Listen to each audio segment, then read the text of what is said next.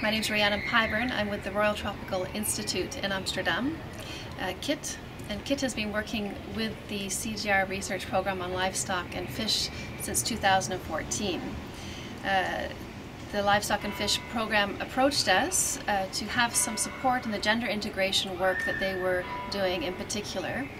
And so KIT began by uh, getting an overview of the different kinds of research that was being done across the, C the, across the CRP, the technical research on genetics, animal health, and feeds and forages, as well as the systems research and the value chain work. And we were looking at entry points for um, making the gender making gender integration more robust.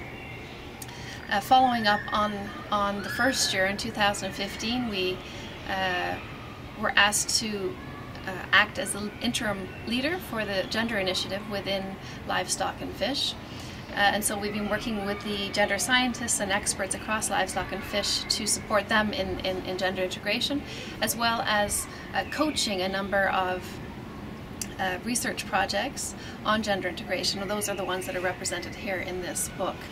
It's been pretty exciting to see how uh, the different scientists, uh, technical scientists, value chain scientists, uh, systems researchers have gotten excited, motivated, and really had light bulbs going off around uh, how gender analysis uh, uh, helps make their research more impactful.